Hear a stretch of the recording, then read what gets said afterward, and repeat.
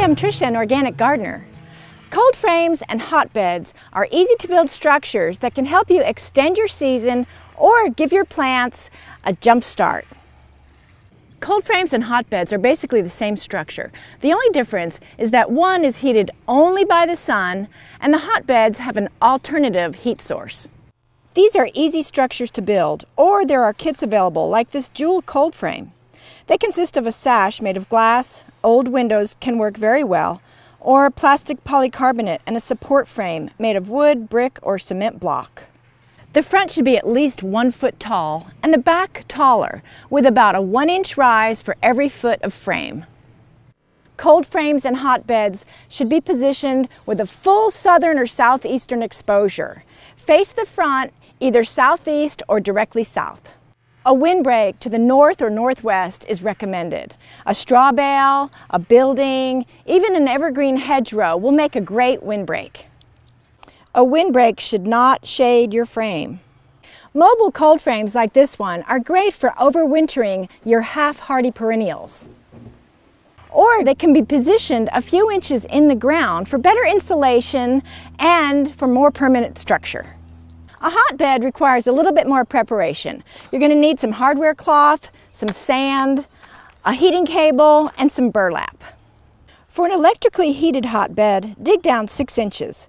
If the soil is not well drained, dig down 12 inches and add a layer of gravel. Lay some burlap down either directly over the ground or over the gravel.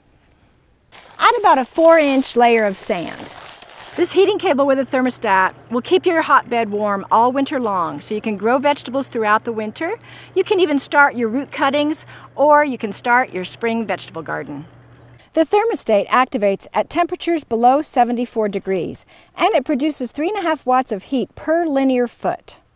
For warmer climates, you might only need 10 watts of heat per square foot. If that's the case, space the cable 4 inches apart. In colder areas, change your spacing to 3 inches apart for 14 watts per square foot.